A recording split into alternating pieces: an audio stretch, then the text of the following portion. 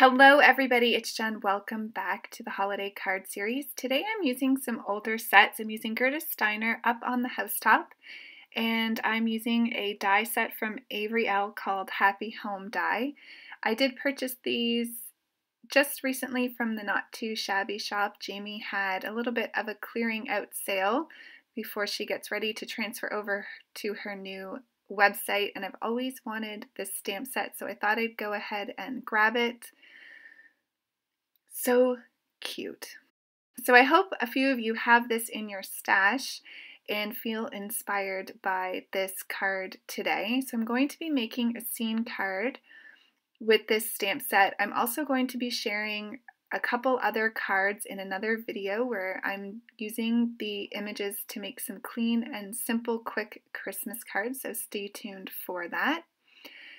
So I decided to change up my reds here. I've been doing a lot of the darker, what I would call more Christmas red in my coloring videos, and I wanted to switch it up for you. So I thought I would do a brighter red combination. So today I'm using R29, R24, and R22. Now I have to admit, I had a little bit of trouble coloring this Santa Claus. He tripped me up a little with what I should color what. So as you can see here, I've done his suit and now I'm doing this little piece on his cuff, which I think technically should be white if it's the cuff by his hand, but it didn't look right, so I ended up coloring it red. And I do like the way that color that came out. And the second thing that kind of confused me with this little stamp is that he's got his little finger up here with no glove on, but the other hand to me looks like he's got a glove on. So I kind of paused and wasn't quite sure if I should color it up like he had a glove on one hand, but then I kind of thought that would look funny. So I do end up going ahead and coloring both of his hands in a skin tone. So I've colored up a little bit of the blacks there you saw, and now I'm going to do the reindeer. So I chose E18, E15, and E13. Not sure I absolutely love this color combination for a reindeer. I think I'd like it to be a little bit lighter, so I'm going to play with my Copics and see if I can get a color that I really like. I did have one that I loved for my Spectrum Noir markers, so I may have to go back to that color combination. And there goes Lila making a little bit of a, an appearance. I do think she comes back as well. Yeah, here she comes, right over the coloring. Doesn't even touch a marker cap, which I always find amazing. She makes me giggle. So here I'm just finishing up the tail. I wasn't sure if I was going to leave it lighter or color it a bit darker, and I ended up going up with, I ended up going a little bit darker I'm going to do the skin tone for Santa, and I'm using E11 and E00 for that. Once I get that done, I am going to bring in the R20 for a little bit of blush here. And then I'm going to do the hooves on the reindeers, and I chose E25. I felt like that wasn't quite the color I wanted, so I brought in the E27. I do end up going over it again off screen with the E29, blending out with the E27 to make them even darker. For the antlers, I'm using E25 and E50, no, sorry, E23 and E53. I wanted them to be a light tan color so they stood out from the body of the reindeers. For the white pieces on Santa's clothing, I'm using C1 and I'll blend that out with my colorless blender.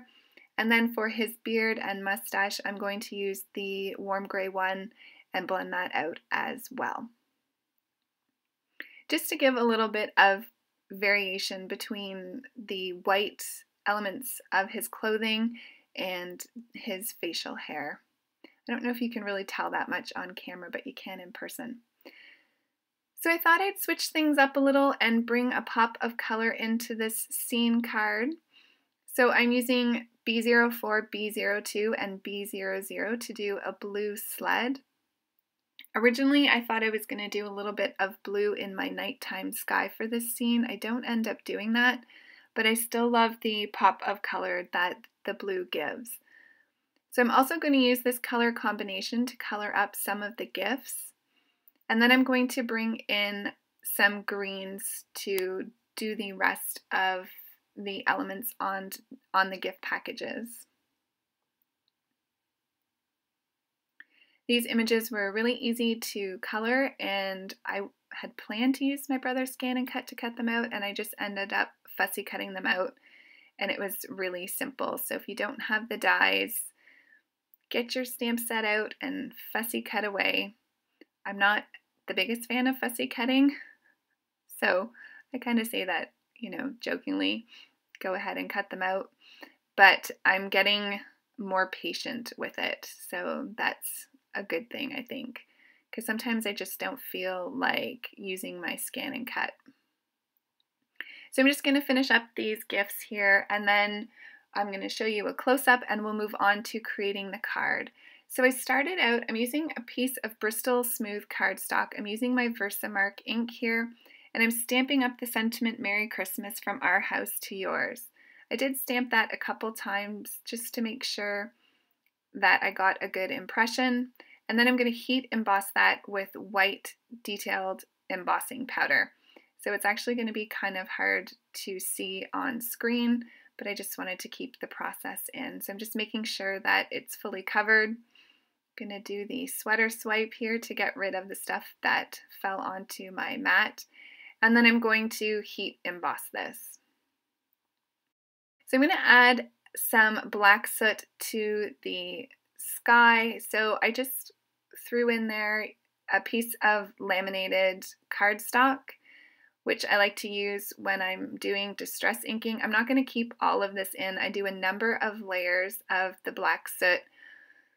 There's a number of things I would have done differently if I were to do this card again. So I think I probably just would have used black cardstock for the sky instead of the black soot or a piece of patterned paper. So you can kind of save yourself some trouble and maybe just do one of those choices. So I'm using my microfiber cloth here to wipe off the embossing. The Distress inks will resist from anything that you heat emboss. Of course, the ink was still a bit wet, so I'm getting my fingers in it all over the place. I'm going to add this panel to my card base. This is a standard A2 size card at four and a quarter by five and a half fixing up my smudges. And here's where I'm going to use this uh, rooftop die from Avery Elle. This is called the Happy Home die. Just showing you, I cut it out of black cardstock and I also cut it out of brown. I ended up going with the brown just because I thought it would tie in Rudolph, who's going to be featured on this card.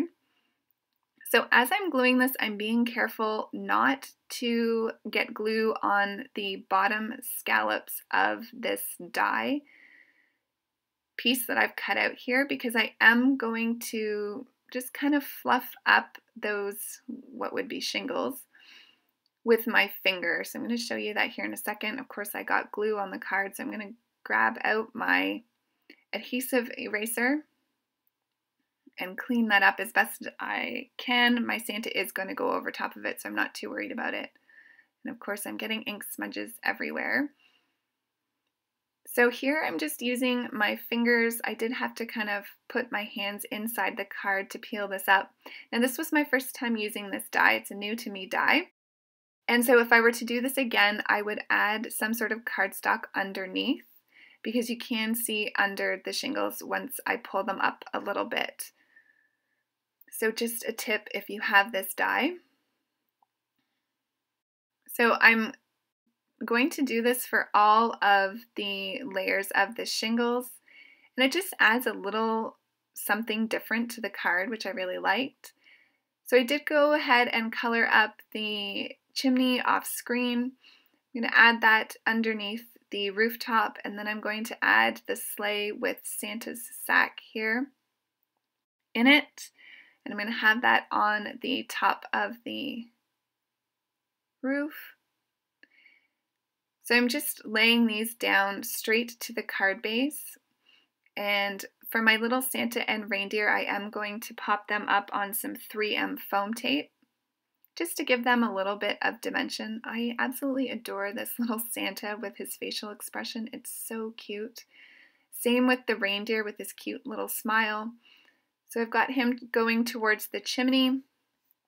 And then I'm going to add a few of the presents by the chimney just to bring some of that blue and more of the green into the card. So I did cut off that one that I put in the chimney a little bit.